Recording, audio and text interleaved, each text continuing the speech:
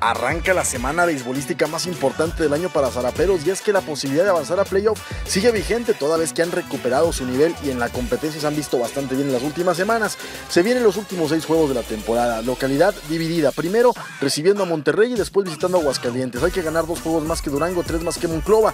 El calendario Durango recibiendo a Laguna y visitando a Laguna posteriormente. Monclova por el contrario va a estar recibiendo al equipo de Monterrey para cerrar temporada y visitando a Laguna abriendo semana. Hablando de Monterrey Rey visitan los sultanes a los araperos para este martes, abriendo el clásico del norte. Un clásico sin, tregua y es que Sultanes está calificado y busca amarrar el liderato. Zaraperos con la soga en el cuello. Se está jugando de poder a poder y por eso van a lanzar a sus artilleros. La ofensiva de Zaraperos luce y reluce. Se confirma que Cristian Zazueta no estará disminuido para el cierre de temporada y podrá haber actividad desde este mismo martes con protección sobre su brazo derecho. Los maderos de Yuri Hernández, Rainel Rosario, Luis Fonseca están todos calientes y esperan seguir de la misma manera. Los brazos de Metrio Gutiérrez para este martes, exponiendo la serpentina zurda, buscando detener el seco a los sultanes de Monterrey para arrebatar la serie y de paso comenzar el camino para los playoffs. El equipo de sultanes vista con José de Paula, de reciente ingreso a la Liga Mexicana y espera mantener lo que lo ha puesto como uno de los hombres a seguir para los playoffs 2018. De poder a poder, clásico del norte, hoy contigo.